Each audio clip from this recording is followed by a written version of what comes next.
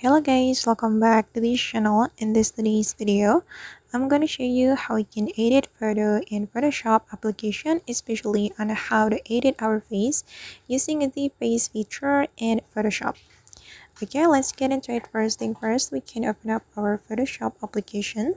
And after we have this application opened we can choose a photo we want to edit for example i'm going to edit this photo guys. We can click on the photo and if we want to edit the face we can go to the face section. You can scroll all the way to the right until you find the face option. And here we can edit the face lips nose eyes and contour. And the first one i'm going to edit the face. I'm going to change the um, face wet I'm going to make it a little bit um, smaller. And then for the lips um, I think I don't have to do something with the lips. Then let's move to the nose.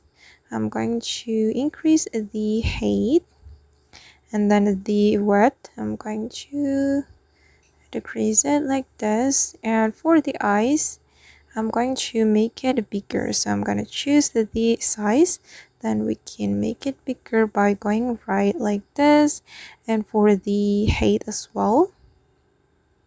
Okay and for the tilt I'm just going to increase it and then let's move to the contour. I'm going to make the jawline sharper so I'm going to select the jawline. Then we can reduce it like this and for the chin I'm going to reduce it as well just a little bit and for the cheek. Um, I think I don't have to do anything with the cheek so let's move to the forehead. Okay I'm just going to increase it like this. Alright and this is the result. Actually you can customize it as you like. And after you're done you just need to click on the save button to save the photo to your gallery Alright guys, and that is how basically we can edit our face using the Photoshop application. I hope this tutorial will be useful for you. Thank you so much for watching and see you in the next video.